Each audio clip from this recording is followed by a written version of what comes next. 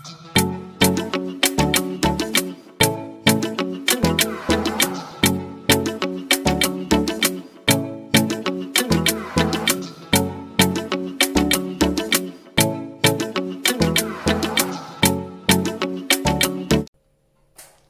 what's up mga bebe? So today, ipapakita ko sa inyo, ikikwento ko sa inyo kung paano ninyo mapapaalis, mapipigilan yung mga garapata na pumunta sa inyong mga bahay at dumikit sa ating mga alagang aso.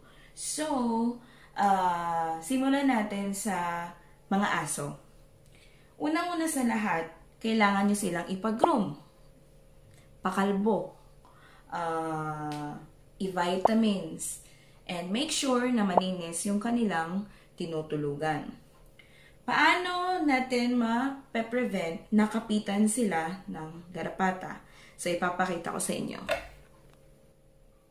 So, after ko sila nun ipinag-groom, um, chinaga ko pa silang paliguan ng every 3 days. Tapos, kukutuhan ko sila, tatanggalin ko yung mga garapata nila habang pinapaliguan ko sila. And while scrolling sa TikTok, nakita ko itong Vetcore. Ayan. Vetcore Nature's Advanced Tick and Flea. Ayan, tingnan nyo ha. Tick and Flea Dog and Home Spray. So, hindi lang siya sa dog, pwede rin siya sa inyong mga higaan, upuan, sahig, hagdan, and everything na gusto ninyo. But still, sa aso ko siya, ini-spray kasi sayang naman. Medyo, medyo may price siya, around 300 plus, pero kasama na itong sabon, pampaligo ng mga aso. Mabulato. Though hindi ko pa siya nagagamit, nakita ko na yung mga gumamit nito sa TikTok, sobrang bula ng sabon. So, ito po, ina-apply sa aso kapag ka Di ba pinaliguan niya sila? Dapat tuyong-tuyo na yung balahibo nila, as in tuyong-tuyo na. I-spray po ninyo ito sa buong katawan niya na parang pinaliguan mo ulit siya. Kailangan mamasa-masa yung uh, balahibo niya and yon kailangan ma- makalat mo sa mga po, sa dito sa may batok niya, sa likod ng tenga, and make sure na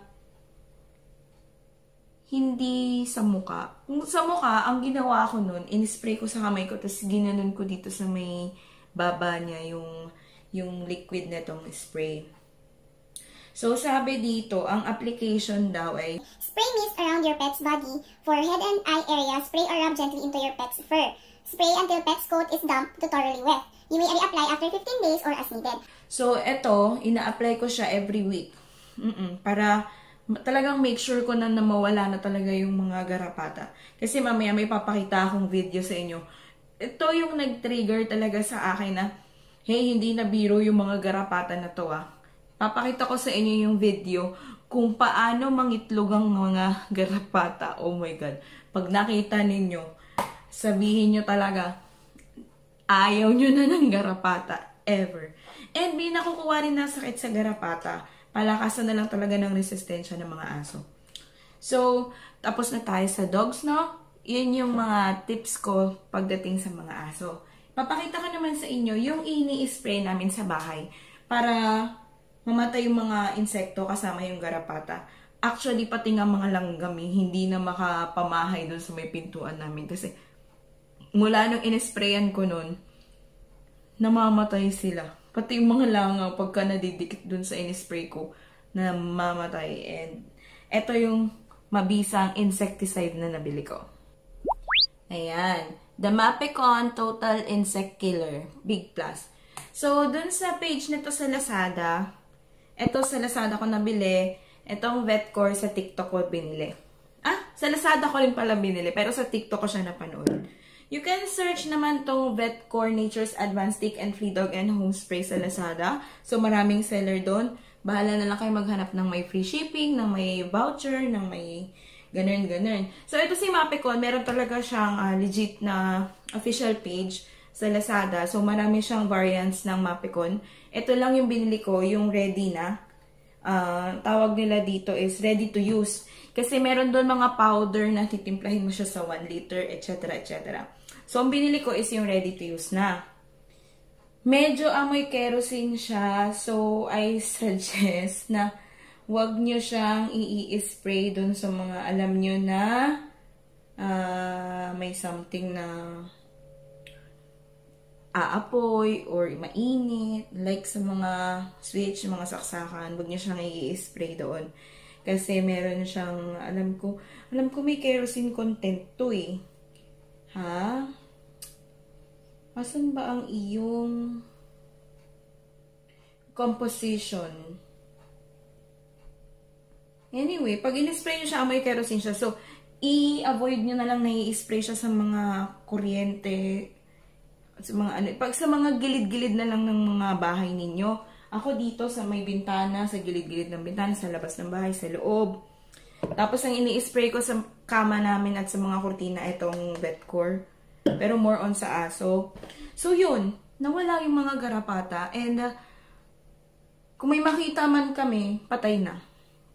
Kung may makita man kami na na lumalakad or ano eh sobrang weak na tapos maya maya patay na. So ito yung video ha nung garapata na naging itlog.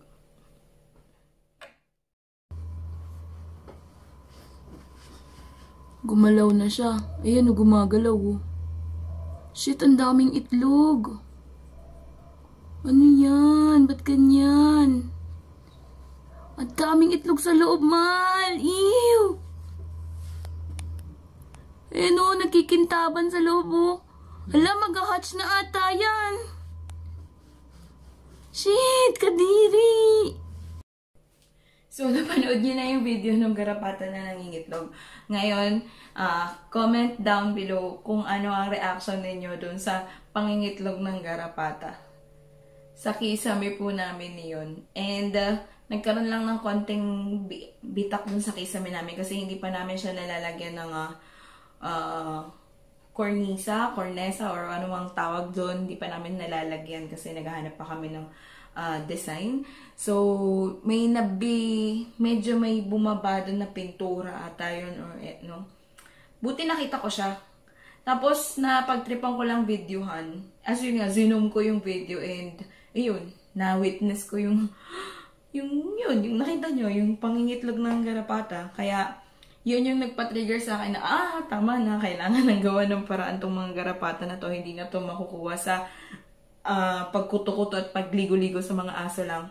Kailangan na itong uh, i-general cleaning ang bahay, i-disinfect yung bahay, isprayan ng insect killer yung bahay, yung mga aso ipakalbo, and gamutin. Um, iniwasan ko po kasi na magpa uh, ano yun yung next guard at saka yung next guard kasi iinumin medyo pricey siya so 1 plus yung isang gamot good for 2 months lang daw yun or 3 months Minapanood ako sa TikTok na uminom ng next guard, nagsisisure na po yung aso niya. So, uh, wala na po yun sa list ko kung paano alisin yung mga garapata. Next is yung detik. Kapag kalalagyan mo ng detik yung aso, kailangan wala siyang kasama or kailangan mo siyang ikulong kung meron siyang kasama. Yung mga aso namin dito sa bahay, hindi po namin kinukulong. At dalawa po silang aso. So, para wala po akong poproblemahin, hindi ko rin po yung ginawang option. Buti na lang po kakascroll ko sa TikTok, nakita ko tong Vetcore. Ayan, Nature's Advanced siya. So, plant-based siya, kaya hindi siya toxic sa aso. And mabango siya after gamit. Ah, mabango siya actually sa balahibo ng dog. Ayan. So, thank you for listening. Um, itatry ko, il- sige, sige, sige, ilalagay ko na nga yung mga link na mga pinagbilang ko niyan para mabilan nyo na rin. Hindi po ako affiliate niya ha. Mapecon, baka naman Vetcore, baka naman. so yun. Thank you so much po sa pakikinig and don't forget to like, share, and subscribe. Ba't ganun yung subscribe? Paki-subscribe na lang po yung aking channel. Salamat po. Bye-bye.